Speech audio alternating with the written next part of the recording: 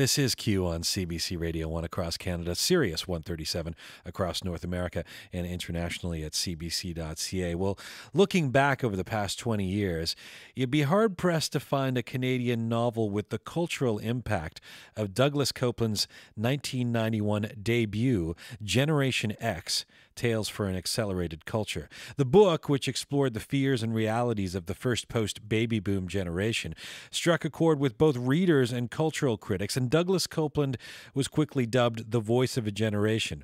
Praise like that can be damning, but to his credit, he didn't swerve. He con- continued to create in entirely new directions. These days, if not the voice of a generation, Douglas Coupland is definitely one of our most observant and prescient writers, and a singular sensibility in other art forms as well. He's just released his 13th novel, a work of speculative fiction, boldly and perhaps a little cheekily titled Generation A. The characters in Generation A live in a not too distant dystopian future, one in which bees have gone extinct and where celebrity culture and technological advances dominate our lives in disturbing ways all too easy to imagine. Douglas Coupland joins me live in Studio Q. Hello, sir. Jian, hello. Nice Very to nice to have you here. Thank you. Long time coming. We've done interviews, but not in this studio. No, we've always been in sort of ad hoc situations, haven't We've we? We've been off campus. Yeah. but here, I, I, like the sort of. Uh, it's, um, the, the, banners around the room here. It, it's like we're in England and there's the Q festival going on or something. It's a medieval looking. That's what we like to think. It's a bit of a Q festival. Douglas, we know what Generation X is, or at least we think we know what it is. Uh, what is, or perhaps more accurately, what will be Generation A? Yeah, well, first of all, going back to Gen X, that came out in March 91. And back then, I wish, you know, does it even exist, Generation X? If you have to assign a, a psychographic to it, you know, did you like the Talking Heads? You know, if so, you're X. It's like that simple. uh, Generation A, however, it's it's a negation of uh, generations. The, the, title comes from a, a, Kurt Vonnegut was giving a 1994, I think, Syracuse University in the states uh, commencement speech, and and, uh, and I don't have the book in front of me, but it says like, okay, well, I hear you, you twerps are being called Generation X now, and that's not doing you much of a favor, you know, being at the end of the alphabet, nothing to look forward to. I hereby christen you Generation A. and I read that, and I was like, thank you, A, for like, uh, sort of negating all the silliness about X, and B, creating something so wonderful. So, didn't Kurt Vonnegut say Generation A because uh, he was uh, saying this is a new beginning? You're, you're, the future, and so why not start yeah. at A? Yeah. I thought that was really lovely. And I mean, it's been 18 years of nonsense with that. But then, then, but then this is an interesting decision for you. So why why call your book? Why engage in something so loaded and self-referential as uh, as uh, to call your book Generation A? Are you taking the piss? Well, it's kind of um, a little bit. I mean, how many times have you and I talked over the years and like, please don't mention Generation X, right? Because I've been trying to establish some sort of identity away from that. And like, I think at this point I've done it. And so now it's like finally, okay, the final silver nail in the thorax of the zombie that will not die or whatever. And even if it never does die, I've dealt with it. Right, you've outed it and, and dealt with it very publicly. You know, having said this, there are similarities between the novels. The common theme of storytelling, for instance, the world of Generation A is highly technological, yet it's telling stories, and that helps the characters find the greater truths of their lives. Do you think that we're losing our ability uh, to tell stories? I don't know if it's so much storytelling, if it is as much figuring out if your own life is a story. I think that uh, when the novel became popular, especially in the 19th century, uh, people began to read them. They had nothing else to do, literally. There was like the only other high technology they had were windows and stairs. I mean, so they had books, so people would read books. And it created a sense of individuality in the reader. And it also, it made people think, well, what if my life's a story? And like, you take someone who died young, and we were just talking about Kurt Cobain before the show was on here, and you know, he was born, he had this big story, and then it ended with his death. Right. And a lot of us, your story's over long before you die. Uh, but we're very sentimental about like what's the story of my life and i think we're kind of losing that uh, we're no longer concerned about what the big arc is in your life. Now it's like, how many hits do you get? Well, we're documenting our lives though more than we ever have, right? Think of the teen that has a million photos of themselves, or at least thousands and thousands because of the access from a digital camera.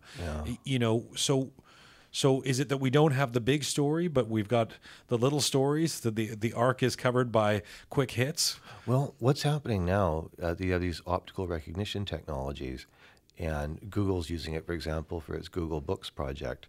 And like you, and you, you can, the iPhone's already got one that works for Sudoku, where you point it at Sudoku in the paper, it reconfigures it as a digital file, and then it solves it for you. It's, which is kind of voodoo, you know, by my standards.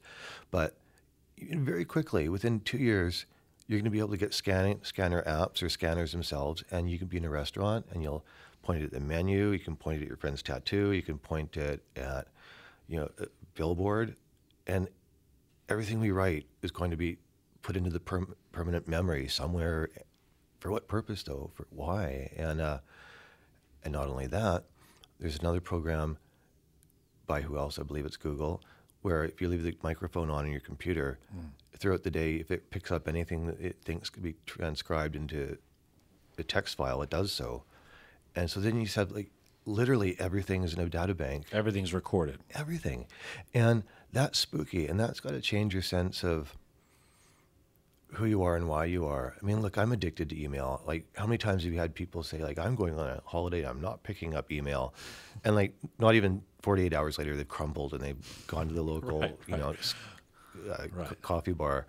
Um, it is different to be alive in 2009 than it was 20 years But ago. But what does that mean for storytelling? I mean, the, when it when, when if you say the word storytelling to me, that, that implies communication to me. That implies one person speaking or communicating, another person listening or reading or consuming it somehow. Mm. All of these devices, you're you're talking about new technology, and of course. You know, you have been branded somewhat of an, a guru around this stuff, at least the near future, and what we're what we're to expect. All of these technologies, it, it, it occurs to me, are uh, sold to us uh, on the premise that we're we're communicating better with each other than we ever have before, and so one would think that that would work for storytelling, and and yet at the same time it seems uh, counterintuitive that all of this stuff means less intimate connection with each other. Well, here's something. Uh, in Generation X and Generation A, you have a group of people who go off to a remote place uh, and they're telling stories to each other. And it is loosely structured on an old novel from Italy called The Decameron, where there's a plague in Milan and a group of young people go off to a castle and they kill the time by telling stories. And what happens in this book, and to a lesser extent in Generation X, is that as the characters tell their stories, certain themes keep emerging and re-emerging, and, then- and then you, you only by uh, telling stories, then doing pattern recognition amongst the group of them, you can say, oh, they're very much concerned about the death of the interior voice in your head that you or I use every day. Like, oh, they're very concerned about how the act of reading actually changes the brain. And and these people, I mean, it's in the indefinite future. I'd say maybe 10 years ish. And they're just that much further down. I mean, God knows what technologies we're going to get tomorrow, the week after. And they're doing, uh, reassessing the degree to which how to be an individual, maybe that's perhaps it. Uh, is it we fetishize individuality in our culture. We might we romanticize it. You know, it might have been a byproduct of technology that's on the way out. And like, I'm not some big cheerleader about technology. I, I you know, some of it's good, some of it's eh. But, but I do like the present, and I do like new ideas and seeing how ideas get disseminated. And I think we are sort of leaving the era of copyright, leaving the era of the individuality, mm. and entering some new, you know, I. Well, bees are fact factored in the book, the hive mind or the Right. collective mind. You, let me stop you. There's a bunch of things you've said there that I want to pick up on. Uh, the uh, this is what it's like talking to you. I'm just remembering now that in your answer, there's so many things that I want to pick up on that uh, inevitably I don't get to. But I want to come back to reading and I want to come back to the inside voice. But let me stick with technology for a second. When you say you're not a cheerleader for technology, you seem to have an interesting relationship with it. You just told me a, a couple of minutes ago here that that you're addicted to emailing. I know you Twitter quite often. So um, so do and, you. Yes, well, yes, I do. And now, and but you also seem to have had a skepticism about technology. What what is your how would you describe your your relationship with with new technology? Well, my concern with technology is uh, sort of the medium is the message and how it does it restructures your brain. It, it's like getting a new operating system installed. And my concern is time. To do what I do, you have to have time, uh, and you have to have a certain degree of focus uh, every day. And when something new, like I've never done Facebook, I've never done, done MySpace, because somehow there's something about those technologies that corrodes time. Whereas Twitter is great because you know once or twice a day something happens which has no other logical place in the universe and it goes there. And you think it's silly. Made for twitter. You know you think it's silly and dumb and it's like the world's worst name twitter. What were they thinking? But then like boom the iranian elections come around and suddenly it's not just like a hula hoop anymore. It's right. this really amazing technology. Um, i think that uh, i'm a lot of this stuff is good. What and, do you think the dark side is of our interconnectivity? Well, the dark side is um, I was flying to England a few weeks ago and I had two really worthy novels in my carry-on luggage, and instead I watched season five of Entourage on DVD, and that's like six hours of reading I'm never going to get back, and you know I'm as guilty of it as anyone. Like there are, it becomes a distraction. It's not, well, it's, it was you know it's well crafted TV. It was kind of nice, but there are too many distractions, and you really, really have to be uh, brutal on how you, you structure your time. Dave Eggers down in California, the American writer, uh, he just does his email twice a day, and he doesn't have he has to go to like a local cafe to do it, and and he knows people know that. So if people send a long email demanding a detailed answer, it's like sorry, not my lifestyle. Click, gone. Uh, as a corollary, I have often kind of one like wonder if we had to do what we're all doing now in society, using just telephones and mail and maybe FedEx, which is basically life in 1990, you know, we'd collapse. I mean, we're so we do so much now. We all hyperachieve every day. But what's happening when you're tweeting? Then are you? Uh, are you putting something off? Are you distracting yourself from something that you'd rather be doing? Uh, um, and why can't you stop it then? Okay, here's an example. Like at Heathrow, coming back from that trip to England, uh, putting my luggage on the, the this, where they put it off the conveyor belt or whatever. Uh, I broke my center fingernail in a way it's like ah, like split right down the middle and just like like it was very painful. Right. But I'm inside security at this point, and I'm sure they're not going to be selling scissors inside the security area at Heathrow. It's like okay, so on the hunch, there's this guy over the security guy, and I say, look, I screwed up my fingernail here. Do you have like a pair of confiscated clippers? And he's like, hmm and he goes over and he brings this like Rubbermaid bucket full of like thousands of confiscated nail clippers. He's like, "Oh, this one here looks clean," and like, okay, it's a risk of getting cooties from using like, but it was like better. Uh, uh, in a moment like that, where does that go? It's funny, it's wonderful, and it's never going to be in a book, or it's you don't want to like, dear mom and dad, a funny thing happened today. so you just put it out on Twitter, and it's out there, and maybe it brings a bit of a you know, like a comic strip or something brings a smile. It's really interesting. I, have never heard it described this way. That uh, Twitter is an outlet for moments that have no other place. We haven't created another place to to describe. Although you could mm. weave that into a short story. I mean, I know. I mean, I've, I've, I've twittered. I do I do haikus um, about like the service at Holt Renfrew, uh, like foolishly making fried chicken on the hottest day of the year, and it, it it's just it's just life. It, it, it's it's not a diary, and it doesn't overtake your life in the way that blogging does, for example. In the world of Generation A, it seems that everything we do, listening to music, reading a book, even recognizing a brand or a celebrity, changes the body on a minute physical scale. Can you explain that view that daily experiences change our change our physical selves? Well, I will. Um, I was very lucky to be able to write a, a biography of Marshall McLuhan, which is finished now and it comes out from Penguin next March. And I've never done a biography before. It's like, how do you approach a person? And the thing about Marshall McLuhan, younger people may not recognize his name. He, like, the medium is the message, uh, the global village. That was his sort of his brand, so to speak.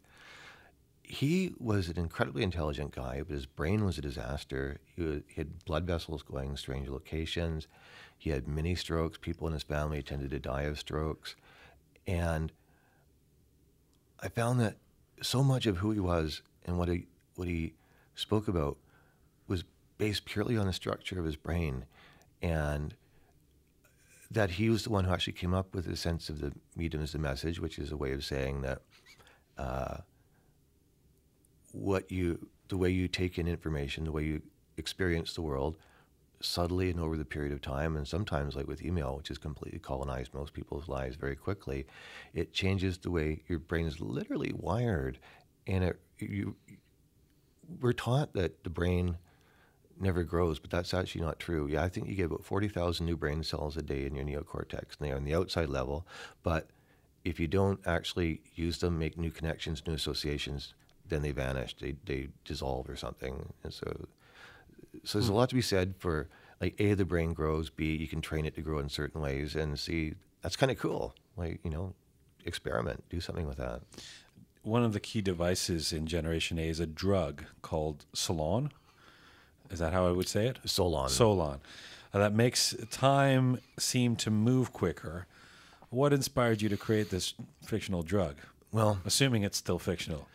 Well, my, my, my, father's a doctor, and I sort of grew up around pills, and I've always sort of wondered what can a pill do to change you, and what if you're in jail? So if you could take a pill to make time go more quickly, hmm. jail time doesn't serve, it doesn't feel so long. And or if you're in a really good patch of life, you take a pill that sort of slows it down a bit, allows you to enjoy it some more.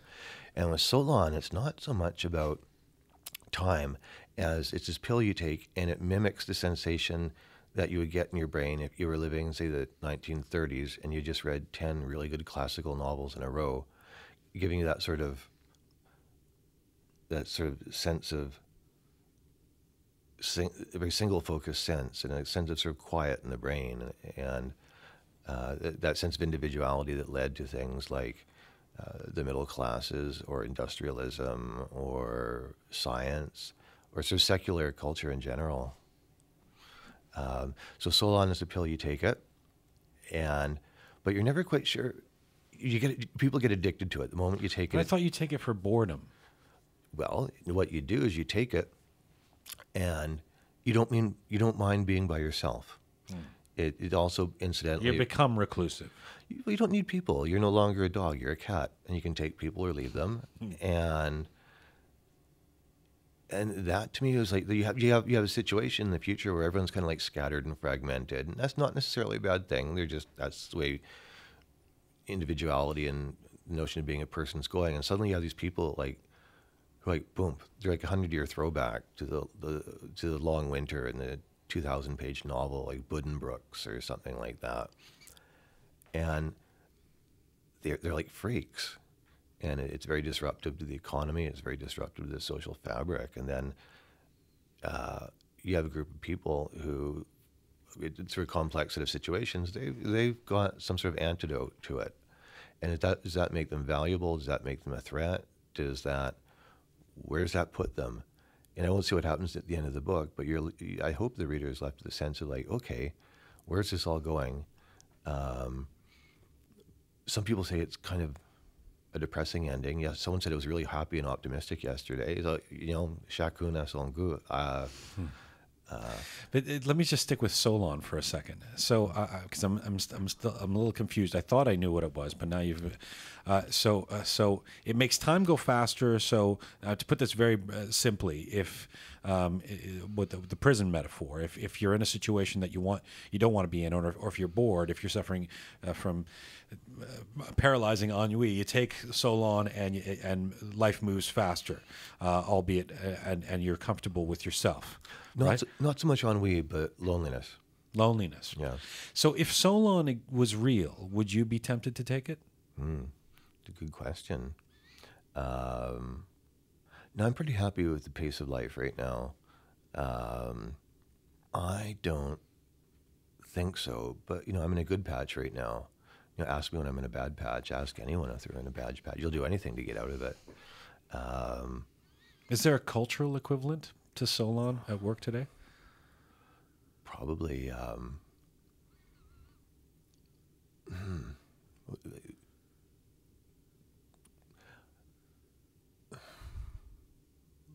books, reading books. I think, um, and sorry it took that long to get that answer, but I think that's that's where it comes from.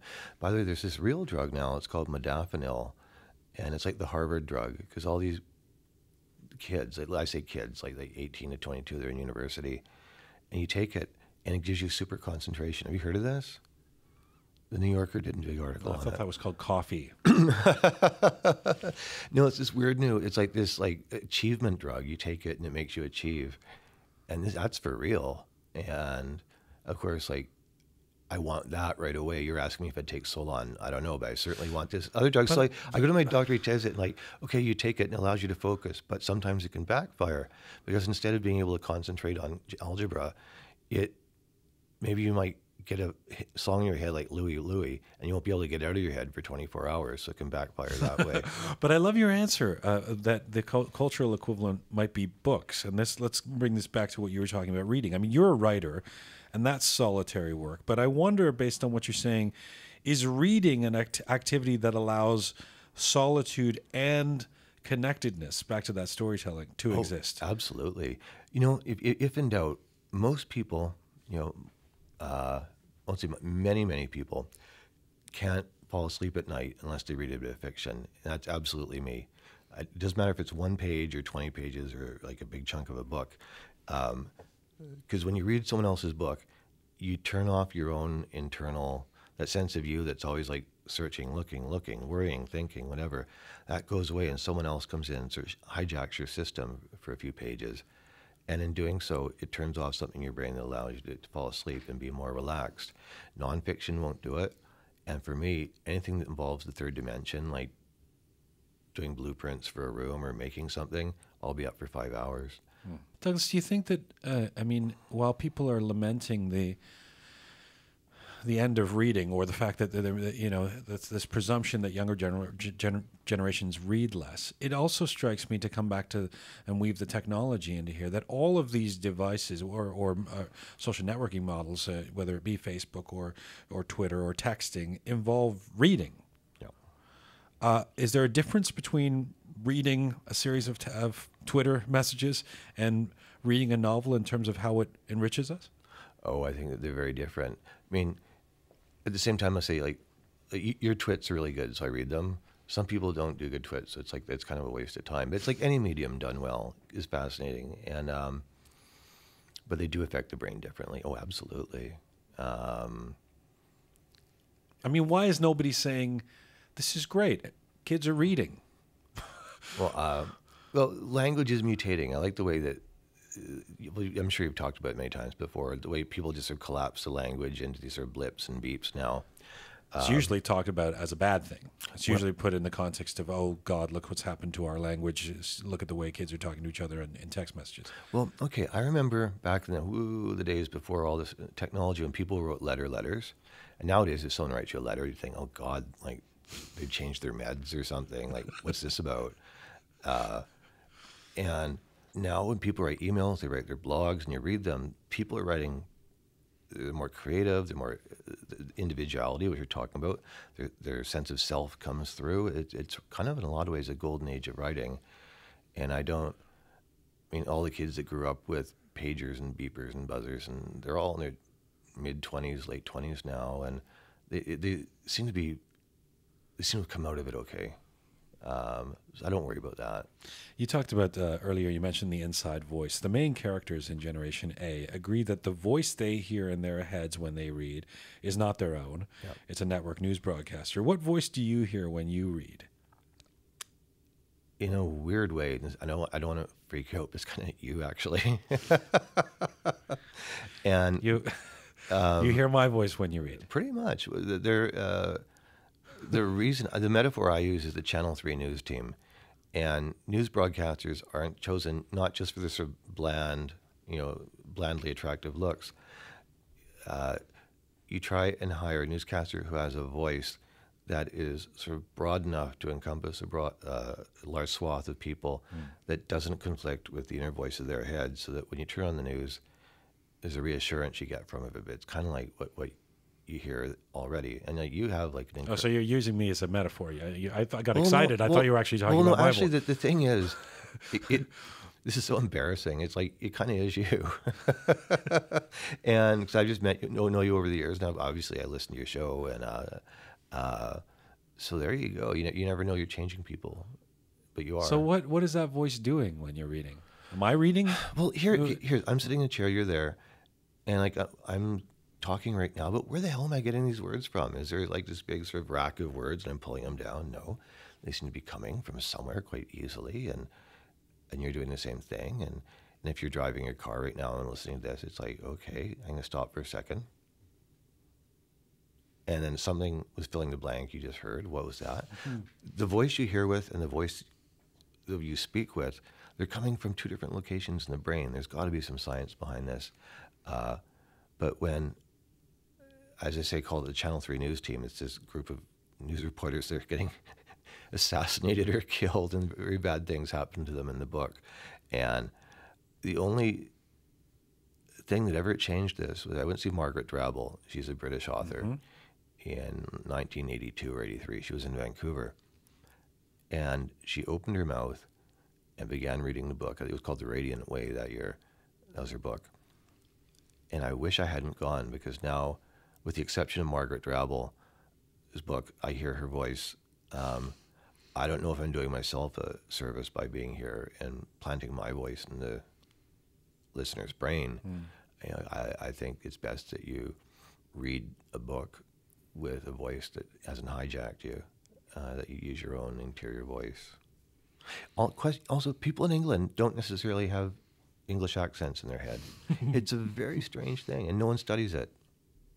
But we might have English accents in our head, even though if we don't speak that way. Well, I know. I mean,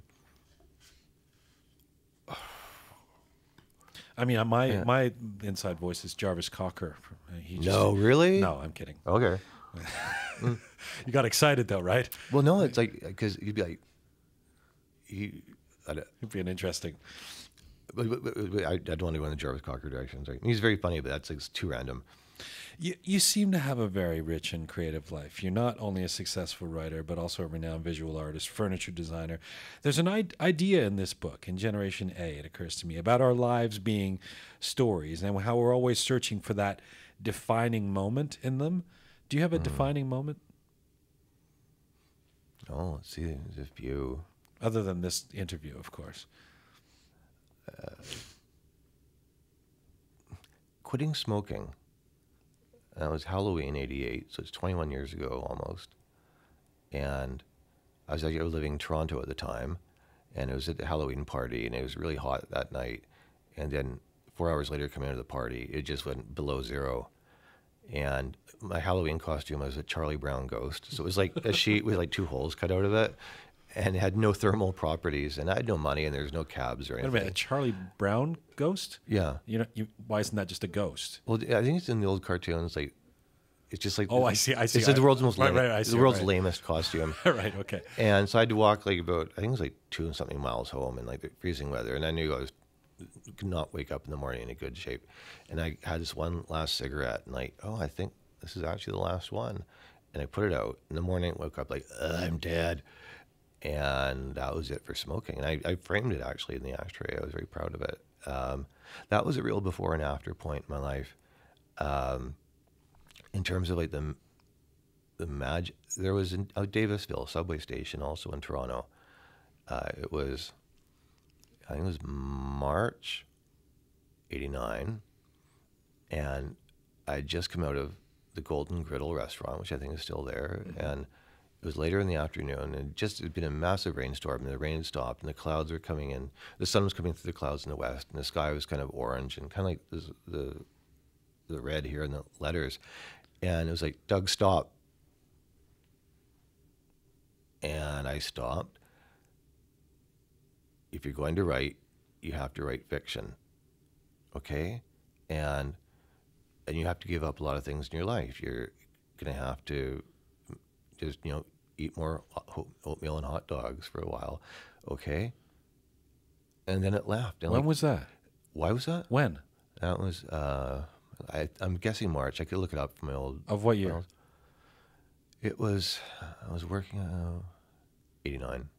So just your defining moments all happened in right in the late '80s before Generation X comes out a couple years later. Yeah, I mean it was. I mean, I still don't know what that voice was and where it came from, and but it was very definite and and since that moment, if people say they hear voices or like someone else is directing me, I, I don't discredit it. And I, this thing does exist. It might be what we consider our, ourself is just this one electrical blast that's going around your brain in whatever direction. And sometimes you might get another like like temporary one that comes in and, and that could be the roots of schizophrenia for all we know.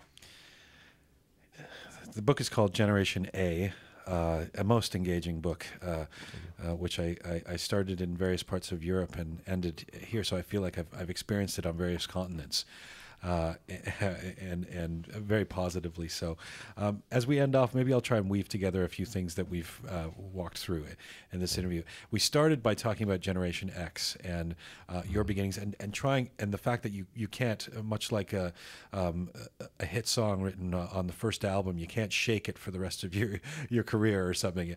Uh, and, and, so you've you've decided to almost send it up.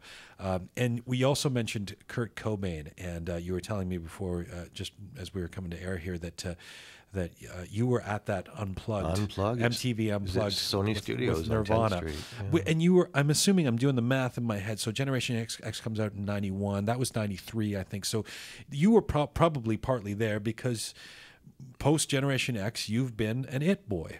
You've been uh, a, a, a, kind of person that people want at their definitive Nirvana gig. You just rolled your eyes, and that's why I'm asking you this question. no, I more, wonder. It was more like a hmm. Okay. well, I wonder because my presumption would, if, if I were to say to you, where are you at on your journey now, and how do you feel about still being an it boy? I would assume that you might come back with something modest, like, well, I, I I've never liked that. I don't know how I feel about that. But I wonder if there's something addictive about it. And if there's something that uh, you continue to like to feed about being an It boy. Oh, oh, like, um, uh, I don't how do I don't I think I stopped being it a while ago. I'm flattered to think you, there's some itness to my being. Um, publicity or press can be addictive. Um, I'm not an easy interview. I, I don't like. I'm notorious for being crabby about interviews and stuff. And uh, I can sometimes you see those young stars and starlets out there, and I can just tell when they've got addicted to press. And you know, someone in their life should just take them and shake them and say, "You got to stop. This is not good. It, it goes nowhere. Uh, there's nothing good can come of it." Uh, if if I could do what I do with zero press, although I'm sure my publicist would freak. I would, I would do no press at all if I could get away with it. Um, it's just sort of part of the job description. So, um, uh, no, no. I, I, the answer is no. You don't want to be no. Um, too bad we're time. This is I've only ever done one interview in my life, and that was with Morrissey, and that was in Rome, back in 2006. You mean as the interviewer? As the interviewer, mm. and it was an awful, awful position to be in. And I don't know how you can do it for a living. They can't pay you enough money, and it's a hell of a lot of work. And, um, the thing about that interview was I'd taken so many new magic generation of sleeping pills that when the time finally came, I walked in and I blacked out. And like six hours later, I was talking to my agent on the phone and like, what the hell just happened? And oh my God, I did. And I scrambled, went looking for my notes and there's like a daisy on a sheet. like, oh God, what have I done? And uh, so, did you do the interview? Well, I did it, and I remember very few things, and it was kind of like looking in an empty fridge and still managing to make an okay omelet. And so, if, Morrissey, if you're out there, I apologize. I don't know what I talked to you about. I, I blame that drug. Douglas Coupland, it's a, as ever a pleasure to speak to you. Thanks for making the time, even with your antipathy for doing press. I would hope that you'll still come here since I'm the voice in your head anyway. You, you'll make an exception. Absolutely. No, I love doing your show. you know, always, always have. Good to have you here. Thanks, sir. Thank you. That's Douglas Coupland. His latest novel is entitled Generation A, available from Random House Books, and he joined me live in Studio Q.